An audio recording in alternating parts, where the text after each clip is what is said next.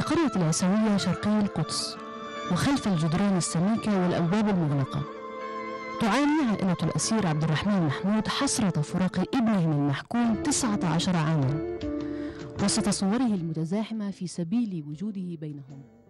وذويه الذين يغصون بدموع تخنق كلامهم وتضيق صدورهم.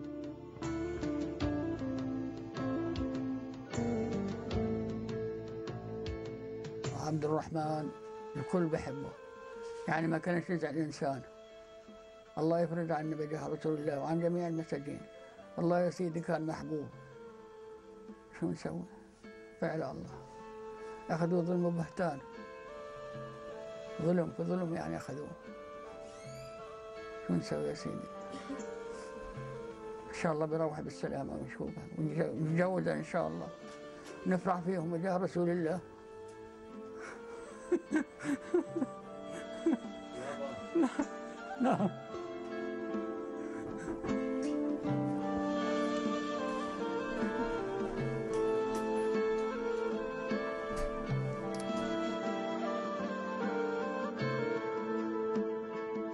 أنا عندي عشرة الحين.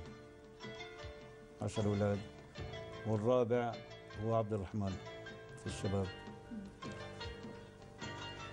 انسجن كان 19 2 2002 حتى في ال- الانتفاضة الثانية. كان يوم الأضحى بالضبط. يعني كنا في الليل الصباح بيكون عيد الأضحى وإجا خدوه يوم العيد بالضبط الصباح. هو تقريبا من إخوتي وأقرب إشي كان إلي. كنت أنا من وياه بنفس الغرفة. إيه، كتير كر- قريب مني يعني وأنا كنت قريب مني. فإجا الاحتلال فرقنا من من بعض. إيه، أمي سبب الموت اللي ماتت منه اعتقاله بسبب الاحتلال. يقبع الأسير عبد الرحمن في ظلمات ليل موحش وبين جدران الزنازين. التي لا تنطق ولا تسمع لأهات تتعالى لتدوي في سماء يحلو بالحرية. مكبل بين أصفاد الوحدة كيف لا ودقيقة السجن دهر. مر عمره ليفقد أما دموعها كانت تبرد أسيرها وهو في السجن. وهناك في الأبدية التقت أم عبد الرحمن مع أمهات الأسرى. اللواتي رحلن في المسافة بين الحسرة والألم. وقد صارعن الموت أكثر من مرة. ورتبنا حديقة أعمارهن ليعيشوا ويزفوا أبنائهم عرسانا وأحرار إلا أن القدر لم ينصفهم. الوالدة يعني كانت فيش فيها إشي لما انسجن. لكن باستمرار كانت تبكي ليل نهار كل زمان يعني كل الوقت كانت تعيط وشي. فتأسس معها المرض اللي هو السرطان. وآخر فترة يعني حوالي سنتين تقريبا أو أكثر ما كانت تقدر تزوره. حاولنا نجيبه يعني عن طريق الصليب الأحمر هون هون إشي على أساس نجيبه يطلع يشوفها ما كانش يعني ما فيش مجال ما اعطوناش مجال. في نفس الوقت لما توفت كمان حاولنا نجيبه عشان يودعها وهذا كمان ما اعطوناش ما سمحوش ولا شيء الفترة هاي كتير كتير كانت صعبة علينا لأن أخنا أسير وأمي توفت يعني وهو جوا. وإن إحنا ما قدرناش نطلع من السجن يعني إنه ما يشوفش. يعني إما تموت وما يشوفهاش. فهذه يعني سكينة في القلب. فهو أثر علينا وطبعا أثر عليه أكثر لأنه هو جوا مش قادر يشوفها. الفترات الصعبة داخل السجن هي فترات ما بتعرضوا الأهل لمشاكل. مثلا زي عبد الرحمن يوم فقد أمه إيه، كانت هي فترة صعبة عليه. لما وفت أم عبد الرحمن. إحنا يعني كثير تألمنا كثير يعني استصعبنا ال- الوضع. يعني كثير كثير. يوم محكمة عبد أنا كنت معها لأختي المرحومة في المحكمة. لما حكموه سمعت 19 سنة إيه، ثم بعد ما طلع ظلت تصبر في حالها.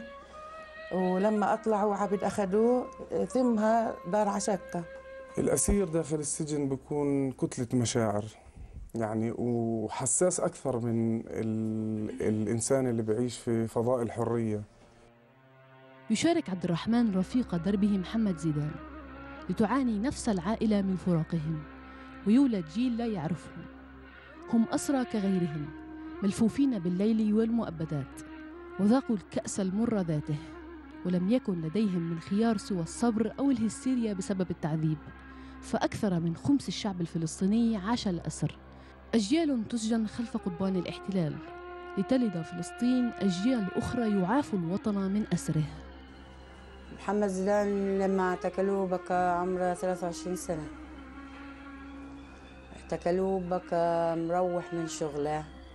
فيش بجوز بحدود فيش ساعة إلى نايم لما اجوا اعتقلوه ولما اعتقلوه نهاريتها سووا العجايب عنا بكى صبحيتها بدأ يجي عيد الأضحى.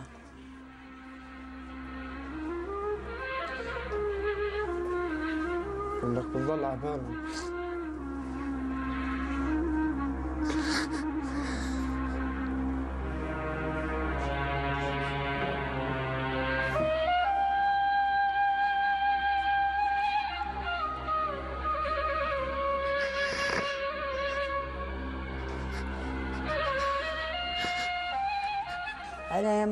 الله ربي يرضى عليك ويرضى عليكم كلكم ويفرج عن عنك وعن ابن عمك ويفرج عن جميع الأسرى ربي ينشلكم من بين ايدين الظلام. يا رب.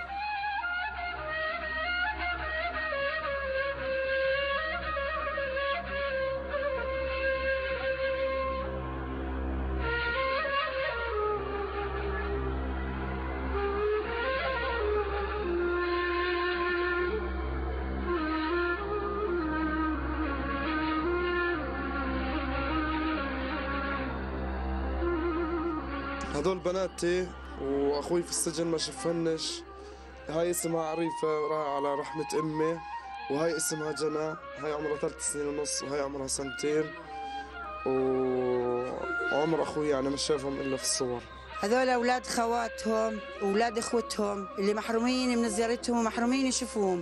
انولدوا وهم في السجن ما بيعرفوهمش ونفس الوقت انحرموا من زيارتهم. ما هذول كل الجيل هذا بيعرفوهم بس على الصور. هذه هي الظروف التي تعيشها أسر فلسطين. تكاد لا تخلو من أسير أو اثنين. يقبعون في ظلمة السجان حاملين قضيتهم وعنوانها الحرية. كريستين ريناوي لصباح الخير يا قدس تلفزيون فلسطين.